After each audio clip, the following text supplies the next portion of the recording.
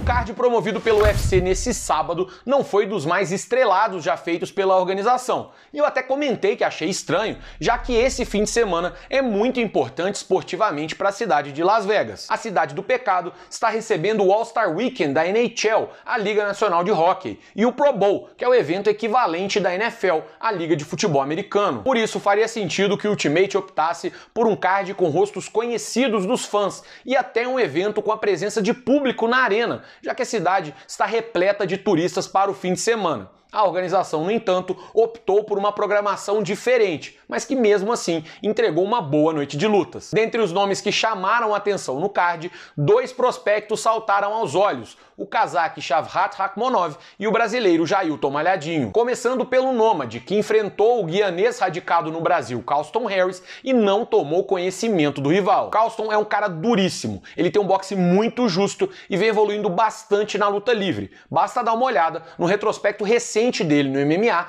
em uma lindíssima defesa de queda na grade nessa mesma luta. Ainda assim, o que ficou claro mesmo é que Rakhmonov já está em modo foguete não tem ré. E é um cara que fatalmente vai estar figurando entre os tops da categoria até 77 quilos muito em breve. Chamou bastante a atenção a frieza do Kazak, que conseguiu manter bem a distância e frustrou Harry sempre que esse tentava encurtar. E com esse controle todo, ele mostrou uma precisão absurda, praticamente não desperdiçou golpes, colocava bem e machucava Harry sempre que conectava. Rakhmonov já tinha tentado um chute rodado no início do round, antes da luta ir para a grade, e voltou a tentar o golpe novamente na reta final do assalto. Dessa vez, no entanto, ele foi direto na cabeça, sacudiu Harris e encerrou a fatura com um ground and pound brutal. 15 vitórias em 15 lutas profissionais para Rakhmonov, que agora merece um adversário ranqueado na sua próxima luta. A minha sugestão, Geoff Neal, que hoje ocupa a 12 posição no ranking. Mas o próprio Rakhmonov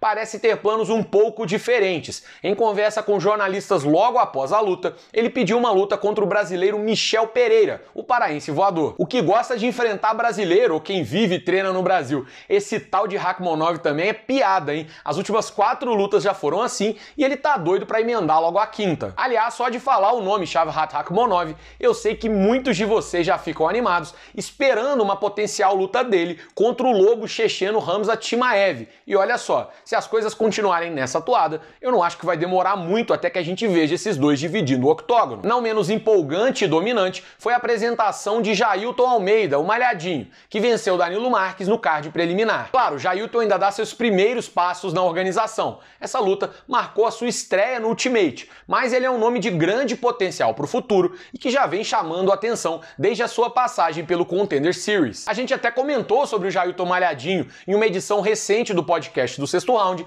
e eu brinquei que o apelido divertido dele ajudaria a cair nas graças do público brasileiro. Mas sabe o que também ajuda bastante a cair nas graças do público? Atuações como a que ele teve nesse sábado, porque Jailton não deu espaço e nem chance pro compatriota Danilo Marques. A luta mal começou e Malhadinho já mostrando mais agilidade e explosão que o adversário, se lançou nas pernas, conseguiu a queda e de lá não saiu mais. Foram quase 3 minutos por cima, com muita atividade, transição transições e um ground and pound violento para cima do oponente. Ao chegar na montada, Jailton deu início a uma verdadeira sessão do descarrego, forçando o árbitro central a interromper a luta e conseguindo a vitória por nocaute técnico. 14 quarta vitória da carreira do baiano, que venceu as suas últimas 10 lutas profissionais. Ele não sabe o que é perder desde janeiro de 2018. E o futuro parece ser bem promissor para o brasileiro, principalmente levando em conta que ele está na categoria até 93 quilos, que ultimamente tem oferecido passe expresso para quem chega chegando. Para ilustrar isso, foi até difícil encontrar um adversário que fizesse sentido para o brasileiro na próxima rodada, já que o plantel é reduzido e a maioria dos atletas já está com luta marcada. A melhor solução que consegui para deixar aqui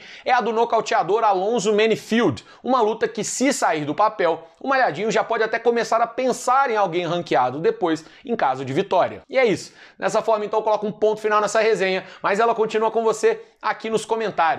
Me diz aí o que você achou da estreia do Jailton Malhadinho no UFC e também dessa ascensão do sinistro Shavhat Rakhmonov. Se você ainda não é um wrestler All-American, clique no botão azul que fica bem embaixo aqui do vídeo e junte-se ao nosso clube de membros. Você ajuda o Sexto Round a continuar crescendo, participa de conteúdo exclusivo e concorre todo mês às nossas camisetas exclusivas do canal. Se puder dar um like nesse vídeo, você ajuda bastante a espalhar a palavra do sexto round pelo YouTube e eu fico muito agradecido. Nesse mesmo UFC Fight Night, eu fiz outra resenha falando da luta principal e da vitória de Sean Strickland sobre Jack Hermanson. Esse vídeo vai aparecer aqui embaixo. Aqui em cima eu vou deixar um card com o link para a última resenha do meu amigo Renato Rebelo, em que ele fala da proposta de Davidson Figueiredo, que quer ganhar um milhão de dólares do Ultimate. Beleza? Valeu, um abraço e até mais!